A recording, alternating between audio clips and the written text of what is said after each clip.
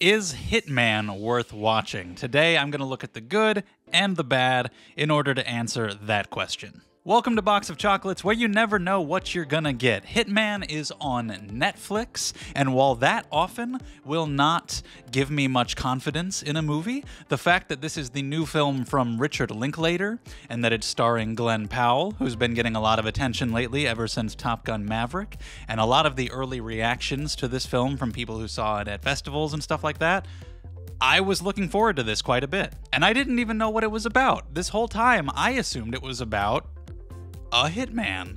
How foolish of me, because no, it's not. It's based on a true story. Glenn Powell's character is a professor who also part time works for the police, and he will essentially go talk to people who are trying to hire a hitman, but he's wearing a wire, so those people get caught for trying to solicit a murder. He ends up meeting Adria Arjona's character, who wants her husband killed because he's a piece of shit, and they end up starting a romance, and there's a complex web of lies. That is a really interesting premise for a rom com, and overall, I enjoyed this movie quite a bit. Not as much as I honestly expected to, because I did hear a lot of hype for quite a while from people who have seen this early but I did still enjoy it. So we're going to talk about some of the negatives I had later, but I do want to start off with all of the good things, and I have to start with Glenn Powell because this guy has serious movie star energy about him. I can't wait to see him in Twisters later this year and anything else that he does. Him playing so many different characters in this movie. His character really gets into this role of a hitman that he's pretending to be. So he'll dress up and put on different accents and act like a different type of hitman to each client that he goes to talk to. So he gets to show off a wide range of his acting abilities. There are so many layers to who's lying to who in this movie, who knows what, what kind of story he has to keep up with any individual person, who he's pretending to be. Has he been pretending to be this person for so long that it's basically become who he is? That his performance here is fantastic. And his character is really interesting as well because he's primarily a professor of psychology and philosophy, and he's kind of a nerdy guy. They try to sell you on the idea that he is seen as maybe not all that attractive, which is just. You can't just put glasses on Glenn Powell and be like, oh yeah, now he's like a nerdy loner. It's still Glenn Powell, come on. But they do what they can. His character doesn't have a lot going on in his life. He's maybe not the most passionate person. And so, when he has this opportunity to turn himself into other people and portray these other people, he's a natural at it. He really gets into it because it allows him to let out these more interesting versions of himself, like become people that are more interesting than he is. And that's another reason as to why Glenn Powell's performance is so good because he's playing this character whose name is Gary and Gary is putting on a performance portraying all of these other characters. And so there's all the times when he's committed to the performance, when you might feel that slipping a little bit and he's resorting back into being Gary. And so Glenn Powell has to balance all of that. And it's an interesting study of human psychology, asking the question can people change who they are fundamentally? If you act like you're somebody that you want to be for long enough, will you become that person? Were you maybe that person all along and you just needed the outlet to realize it? Adria Arjona is really good as well, and their chemistry is off the charts. Like from the moment these two meet each other, I thought they were just gonna start fucking immediately.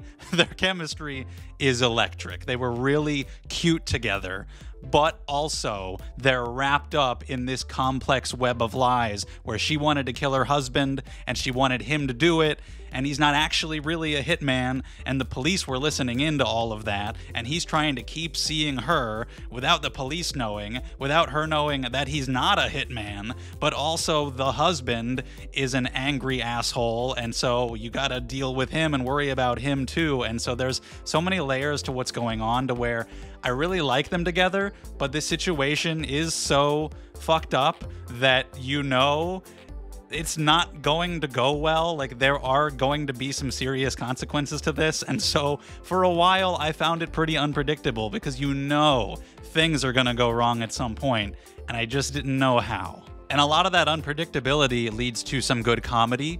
A lot of the comedy comes from the absurdity of the situations that the characters find themselves in and the kind of awkwardness of them trying to get themselves out of it. And it also leads to some good tension. There are scenes where it feels like people are about to get busted for all of the lies they've been telling and I was not sure how they'd get out of it. And the actors are able to deliver performances that are extremely strong in some of these scenes as these conflicts come to a head, and the way they resolve is very satisfying. And I really enjoyed all of that. I think it balances the tone very well, being a rom com with characters you want to see together, but also characters who are not the best people. Like you see our main character, Gary, get more into this hitman persona, and you're always kind of wondering how far will he take that? How far will these characters go? How dark will it get?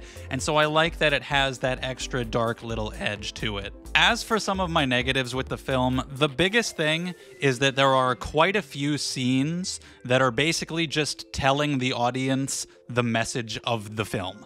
Like I said, he's a psychology professor, so you have quite a few scenes of him teaching class, and they're just talking about psychology, and they're kind of just explaining the point very unsubtly directly to the audience. There's a scene where he talks to his ex wife, and she tells us about how he used to be and how he's not the most passionate guy, and maybe he can change. Can people change? And I liked these scenes. I thought they were interesting ideas being explored in this story through characters that I found interesting, actors that were doing a really good job. The dialogue was well written, but these scenes are very much just telling the audience the point of the movie. So when I rewatch this movie, I'm going to be thinking about all of his scenes with Adria Arjona, all of the scenes where he's pretending to be a hitman and catching all of these people, all of the funny parts. And then when I actually sit down rewatching it, I'm going to be like, oh yeah, also there were all of these extra scenes as well, where the movie is just telling me the point of itself. They were fine, but they were definitely the lesser types of scenes in the film. It's not the most visually interesting film in the world, and that's okay. That's a pretty minor thing. It's mainly a rom com. It doesn't need to be the most visually impressive thing. But I was wondering why, even though I liked this movie quite a bit, I would rewatch it. I recommend it. I really did hear a lot of extreme hype for this movie, and I walked away thinking it was good, and I wondered why I, I didn't love it as much as some other people seem to.